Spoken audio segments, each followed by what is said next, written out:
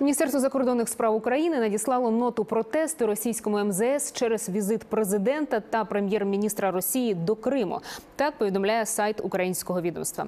В ноті зазначено, що Володимир Путін і Дмитро Медведєв порушили міжнародне право і закони України, приїхавши на тимчасово окуповану територію без відома Києва.